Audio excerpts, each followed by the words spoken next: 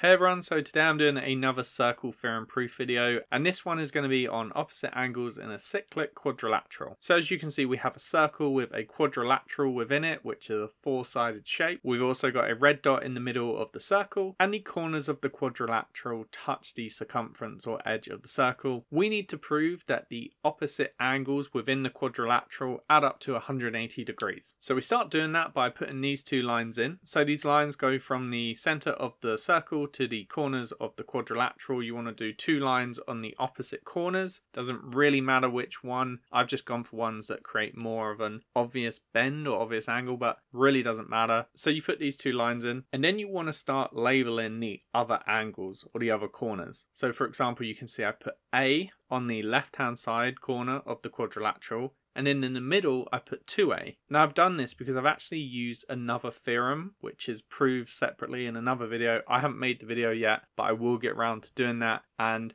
it's that the angle at the circumference or the edge of the circle when you have that angle in the center of the circle it's going to be twice the size. So we have A, and when it's at the center, it's 2A. So that's another theorem, and that's for another video, but you can take that for granted now, and you know, by the time I end up making a proof on it, you can watch that too. So we've used that fact to label A and 2A. We're going to do the same for the opposite sides. So we're going to label B, which is the opposite to A, and then 2B is going to be opposite to A. You can kind of visually see what I've done here. So we've got B and 2B, same principle is applied. That's how I was able to label that as well. Now from here is where we can start writing the proof, I guess. And that's because 2A and 2B in the middle, they're going to add up to 360 degrees because it's just a big circle. And if you go around in a big circle, it's 360 degrees. So we've got 2a plus 2b is 360 degrees. Great. Next thing we want to do is divide both sides by 2. So we're going to get a plus b is equal to 180 degrees. And there we go. We've basically just proven the theorem. It really is that simple. Hopefully it all made sense. If anything wasn't clear, please leave a comment down below and I'll do my best to get back to you there. Thanks so much for watching the video and best of luck with all your maths.